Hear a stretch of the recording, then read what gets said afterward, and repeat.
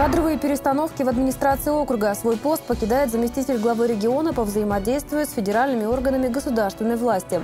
Миллион на реализацию проекта. Сельские активисты могут получить субсидию из окружного бюджета на благоустройство своего села. Здравствуйте с главными событиями к этому часу в студии Ирина Нежалова. Губернатор Ненецкого округа принял ряд кадровых решений. В частности, свой пост покидает заместитель главы региона по взаимодействию с федеральными органами государственной власти Сергей Сурков. Новым вице-губернатором по решению Игоря Кошина назначен Сергей Боенко.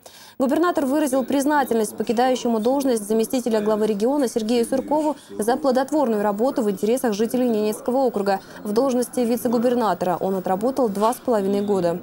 Главный итог деятельности – это с одной стороны, увеличенный объем э, и привлеченных средств федерального бюджета по разным направлениям. И, и, и вторая глобальная задача, то, что мы от разговоров о глубоководном порте Индиго, круглогодичном, э, как обеспечивающем Северно-Морской путь, э, перешли от разговоров к конкретным делам, и на сегодняшний день, я думаю, что Сергей Юрьевич совершенно спокойно доложит, что этот проект у нас вошел в число приоритетных Пост заместителя губернатора НАУ после Сергея Суркова займет Сергей Боенко, ранее занимавший должность начальника окружного управления гражданской защиты и обеспечения пожарной безопасности. Сергей Ефимович будет курировать работу Управления имущественных и земельных отношений, Управления гражданской защиты и обеспечения пожарной безопасности, Государственной инспекции по ветеринарии и Управления государственного заказа. Исполняющим обязанности начальника окружного управления гражданской защиты и обеспечения пожарной безопасности назначен Евгений Макаров – Ранее он занимал должность замначальника управления. Теперь он возглавит и окружную комиссию по предупреждению ликвидации чрезвычайных ситуаций и обеспечению пожарной безопасности. Миллион на благоустройство. Активисты муниципальных образований на конкурсной основе могут получить субсидии из окружного бюджета на реализацию наиболее важных проектов, направленных на облагораживание территории своих поселений. Это может быть, например, установка детской игровой или спортивной площадки. Финансирование будет осуществляться в рамках реализации проекта по поддержке местных инициатив. Подробнее об этом на семинаре глав муниципальных образований рассказала начальник управления финансов Ненецкого округа Светлана Вокуева. Реализация проекта по поддержке местных инициатив запланирована на текущий год. Но, как отметила Светлана Волкуева, если жители сел активно будут предлагать свои идеи, то проект могут продлить и выделить на эти цели дополнительные средства. Но пока организаторы конкурса ждут заявок от инициативных жителей. Для участия в конкурсе им необходимо придумать идею, собрать необходимые документы и заявить о своем проекте, например, о строительстве спортивной площадки обсуждают этот проект, собирают собрание, э, принимают какое-то решение по этому вопросу, обсчитывают э, примерную смету, э, сколько это обойдется, ну, гарантируют в этом заявлении, потом гарантируют, что они готовы собрать 1% средств. Это вот, если это миллион, то это всего 10 тысяч, это небольшая сумма. Если есть спонсоры, пожалуйста, привлекают какие-то спонсорские. Более того, очень важен их вклад именно трудовой. То есть, когда они будут площадку эту свою реализовывать, делать, могут привлекать себя, там, детей. Э, и после этого дальше они как контролеры выступают. Средства на софинансирование проекта может выделить и сельсовет. Добавлю, что организатором конкурса выступает Департамент региональной политики. На повестке дня самые актуальные темы. Члены Общественной молодежной палаты при собрании депутатов Ненецкого округа обсудили вопросы об устройстве парков для выгула собак и разработку плана мероприятий популяризации здорового образа жизни. Всего в повестку дня заседания включили 11 вопросов.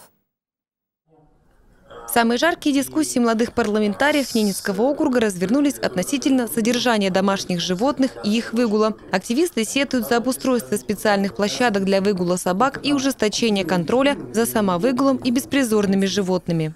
Соответственно, я считаю, то, что здесь нужно внести некоторые изменения по поводу отлова именно собак. Если поступило заявление, надо реагировать на него моментально. Потому что так, по большому счету, ну ладно, я взрослый человек, а ребенок – Ребенок вообще растеряется, у него будет психическая какая-нибудь травма, и что дальше будет. Традиционно большое значение члены молодежной палаты уделяют популяризации здорового образа жизни. На текущий год у молодых парламентариев намечен серьезный план мероприятий. Мы наконец-то немножко насобирали средств. закупили кубки, закупили награды для этой игры. То есть на базе шестой школы мы проведем в промежутке между 9 и 15 мая военно-патриотическую игру. Кроме того, члены молодежной палаты обсудили участие в глобальной акции. В интернет-энциклопедии Википедия планируется развернуть виртуальный фронт для наполнения ее полноценной и правдивой информацией о достижениях и подвигах российского народа. Также активисты готовятся к проведению международной акции «Тест по истории Великой Отечественной войны», который пройдет в округе 22 апреля. В настоящее время ребята обратились к руководителям образовательных организаций, обратились к Ассоциации учителей историков, которая начала работать. Обратились они, собственно говоря, как всегда, к нашим стажистам, учителям, чтобы были проведены в регионе публичные лекции, чтобы больше шел анонс этих мероприятий. Не обошлось и без кадровых перестановок. По результатам открытого голосования в связи с выходом из состава Общественной молодежной палаты Дарьи Рудневой вакантное место заняла Елена Чернин. Синицына, а секретарем был избран Роман Колкин, председатель Общественной молодежной палаты «Щит». Напомню, молодежная палата призвана содействовать духовно-нравственному воспитанию молодежи, вовлекать молодых людей в активную общественную политическую жизнь округа, формировать правовую и политическую культуру.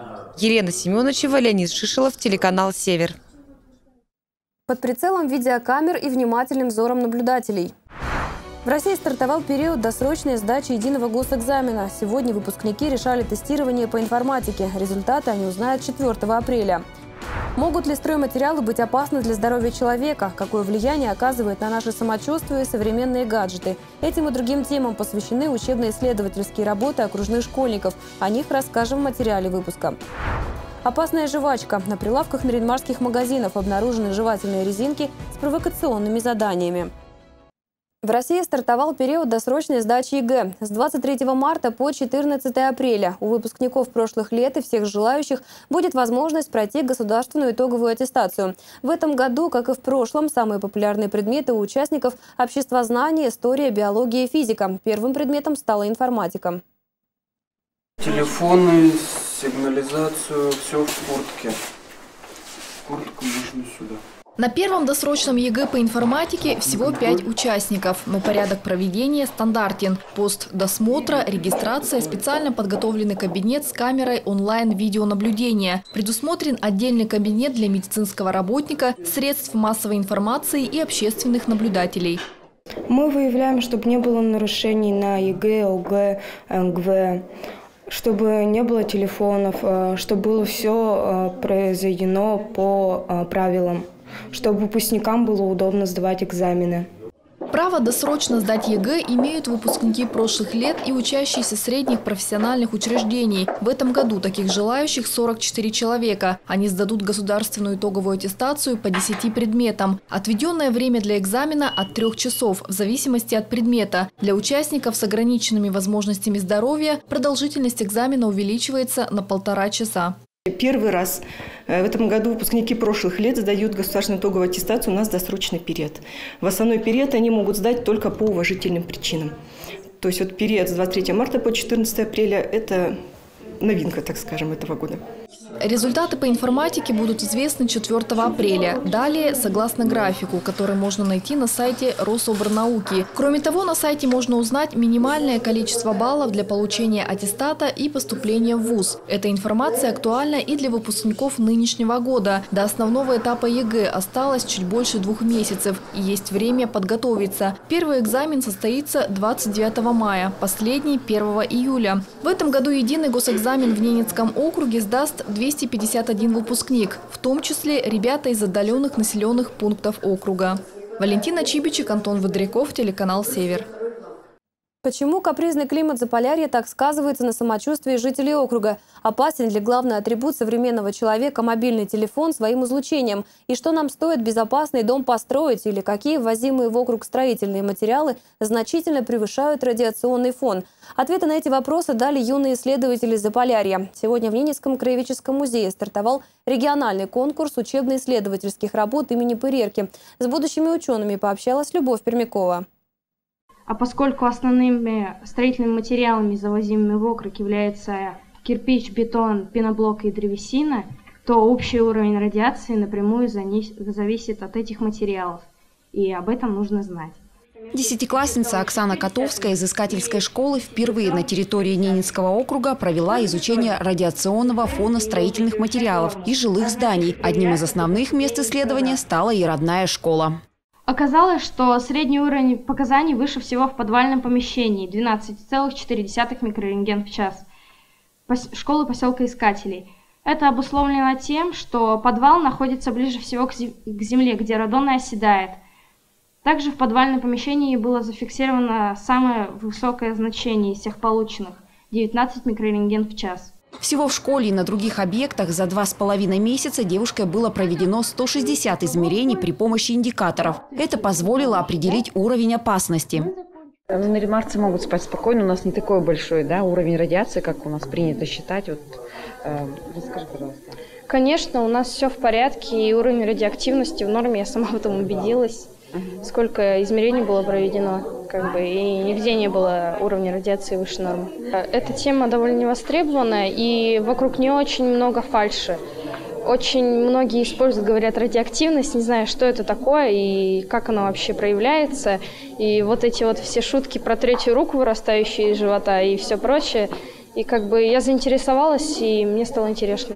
Стало интересно и другой участнице конкурса учебно-исследовательских работ восьмиклассницы Екатерины Коваленко, когда она задумалась над тем, почему солнце в Наринмаре ярко светит, но почему-то не греет. Отсюда у меня возник вопрос. Если солнечный свет есть везде, то почему же одни части Земли избалованы солнечным теплом, а другие обзелены, а то и вовсе лишены? Определить недостаток природного тепла Екатерине помогли многочисленные наблюдения в течение года и простые приборы – термометры и барометры.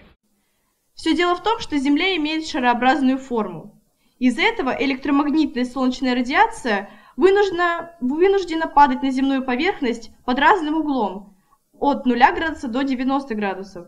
И чем больше угол падения лучей Солнца, тем больше нагревается земная поверхность – Этим и объясняется разница между климатом севера и юга. Всего научные выводы на этом конкурсе сделали 14 ребят из школы профессиональных учебных заведений от 14 до 25 лет. Их выступления и исследовательские работы оценивало компетентное жюри, в состав которого вошли научные сотрудники и представители Центра развития образования. Уже завтра станет известно имя победителя научной битвы, который будет номинирован на премию президента России. Любовь Пермякова, Владислав Носкин, телеканал «Север». Правда или действие? Сразу в нескольких регионах России родители забили тревогу, увидев у своих детей жевательную резинку со странными заданиями на обертке. Такая жвачка, как ее прозвали со вкусом смерти, добралась и до нашего округа. Где их продают и что за опасные задания надо выполнить, выясняла моя коллега Елена Семеновичева. В глазах молодой мамы девятилетнего сына Марины застыл страх. Что это, маркетинговый ход или очередные так называемые группы смерти? И к чему приведут, на первый взгляд, безобидные задания? Во вторник мой девятилетний сын принес домой жвачку, на которой написано «Открой пачку, начни игру». Я посмотрела, что за игра, и здесь, например, очень много разных неоднозначных задач стоит перед детьми, которые они должны выполнить, снять это на видео либо фото и, вы, и выкладывать в социальные сети. Купить такую жевательную резинку особого труда не составило. Находим ее в первом же магазине города. Продавец признается, пачка буквально разлетелась, как горячие пирожки. А вы вот вообще сами лично видели, что ну, ну, много нет, таких Если жвачек? мне это показали, но нет, немного, две упаковки. М? Две упаковки на всяким, но пока приказы не идут, ничего. Это ну понятно, понятно, понятно, я вас поняла, да. Две Закон... упаковки таких было? Две или три даже, не помню. Ну-ка, давайте посмотрим. Арбуз, ну там больше там... нет, да, там больше нет. Нет, вот здесь.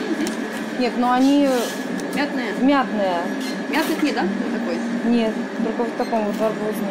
А, ну все, да. Две или три штуки таких было, да? Нет, целая упаковка такая. А, была целая Конечно, упаковка. Ухватив последнюю пачку жевательной резинки, проверяем, чем производители данной продукции заманивают покупателей. На первый взгляд безобидная жвачка с арбузным вкусом. На ней написано «Правда или действие, открой пачку и начни игру». Ну что ж, начнем игру. Действительно, на первый взгляд, безобидные задания. В этой пачке нам попались, к примеру, «Надуй пузырь и сделай селфи» или «Весь день набирай сообщения носом». Но если обратиться к интернету, то можно найти задания, которые уже не кажутся такими безобидными.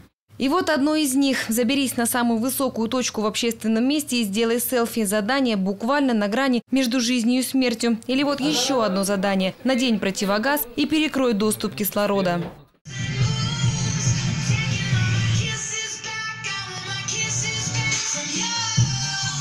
Обеспокоенные родители бьют тревогу. Что же делать? Психологи дают ответ. Больше общаться с собственным ребенком и уделять как можно больше свободного времени собственному чаду. Почему дети уходят в социальные сети? Одинокие дети уходят туда. Одинокие, которые, с которым, которым не с кем поговорить, не с кем, не с кем э, э, свои мысли донести, некому поплакать. Я всегда говорю родителям, проводите больше времени с ребенком вместе.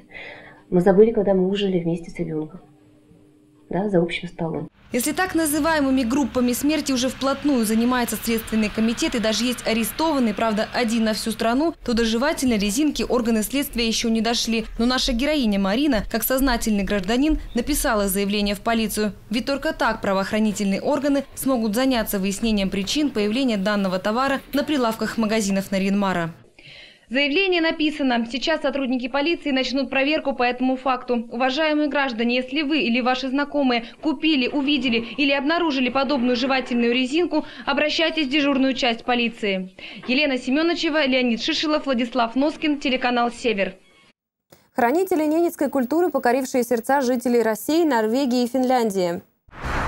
Ненецкая фольклорная группа «Ханепцё» отметила первый юбилей. Творческий полет длиной в пять лет. Ненецкая фольклорная группа «Ханиптё», что в переводе означает «сова», отметила свой первый юбилей. Во дворец «Арктика» поздравить хранителей ненецкой культуры пришли поклонники самодеятельного театра и любители национальной культуры. Артисты «Ханиптё» исполнили для гостей эпические ненецкие песни, показали фольклорные инсценировки. А еще в программе юбилейной встречи состоялась премьера фильмов-спектаклей. Их посмотрела и наша съемочная группа. Не но нють котеню, нють котеню, титало. Ти. Ты мне кухан там. А? Ты мне кухан там. Ганя и Ганя, гау, гань. Артисты Ханиптё показывают зрителям видеоспектакль на ненецком языке «Хэкур» по мотивам пьесы Матрены Талеевой. Такой новый формат творчества, аудио-видеофиксации коллектив Ханиптё создал с целью сохранения ненецкого фольклора. Всего на юбилейной встрече было представлено пять таких фильмов-спектаклей «Хитрый заяц», «Пришелец», «Украденная песня», «Хэкур» и «Новое солнце» которые потом пригодятся для того, чтобы и изучать язык, и пропагандировать язык, и вплоть до того, что э, нынешнее современное, что у нас требуется, развитие сферы туризма в округе. Но вы и как актерами довольны? Вот они справились со своей задачей? Конечно, для, для э, уровня этого пока достаточно. Ну а, конечно, надо работать, работать, двигаться дальше. По словам режиссера Ханиптё Сергея Никулина, особенно доволен он остался работой своих самых маленьких артистов.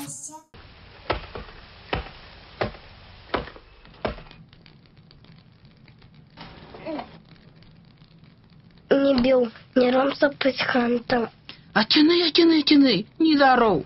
Пятилетний Мирон и исполнительница главной роли в видеоспектакле «Хэкур» восьмилетняя Пелагея, родные брат и сестра. Сюда их привели родители, которые сами играют в этом коллективе уже более трех лет. Людмила Алексеевна нас как-то увидела, при пригласила на одно из мероприятий. И после этого как-то само пошло, что мы уже влились коллектив. Насколько знаю, дети вас не говорили на немецком языке, да, когда пришли? Дети? Сейчас говорят? Сейчас говорят, да, они говорят в школе, они говорят в садике. Вот благодаря тому, что стали участвовать, да, У них появилась дома такая игра, они между собой обсуждают, а, кто сколько знает родных ненецких слов, то есть как бы а, запоминают, приходят домой и начинают они фразы какие-то вспоминают из текстов а, других актеров. Действительно, у других актеров театра Ханиптё есть чему поучиться. Кроме владения родным языком, на сцене они воссоздают уникальные отрывки из древних ненецких эпических песен, показывают бытовые сцены из жизни тундровиков, инсценируют обряды и национальные игры, не оставляя при этом равнодушным ни одного зрителя. Люди реагируют, конечно, великолепно, потому что на немецком языке они просто удивляются, и, и, и загадки мы задаем, и э, сценки делаем, и поем. И что интересно, после концерта не, некоторые начинают сами подпевать. И не только подпевают, чего только стоит выступление в 2012 году на Международном фестивале эпической культуры в Республике Карелия, а также в Норвегии и Финляндии. В зале был полный аншлаг, а после дебюта нашим артистам зрители аплодировали стоя. Вот и на юбилейной встрече вновь прозвучали громкие овации. А участники фольклорной группы пообещали вновь порадовать своих поклонников новыми фильмами на ненецком языке. Любовь Пермякова, Дмитрий Лукевич, телеканал «Север». Такова информационная картина этого дня. Мы следим за развитием событий. Увидеть новости можно и на нашем сайте www.trksever.ru. Далее смотрите прогноз погоды.